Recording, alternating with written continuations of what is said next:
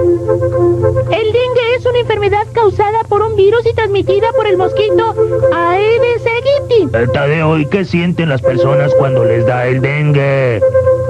El padecimiento puede iniciarse lentamente o en forma súbdita, Ah. con dolor de cabeza, fiebre alta, acompañada en ocasiones por manchas rojas en la piel y dolor en músculos y articulaciones. No hay vacuna para protegerse del dengue.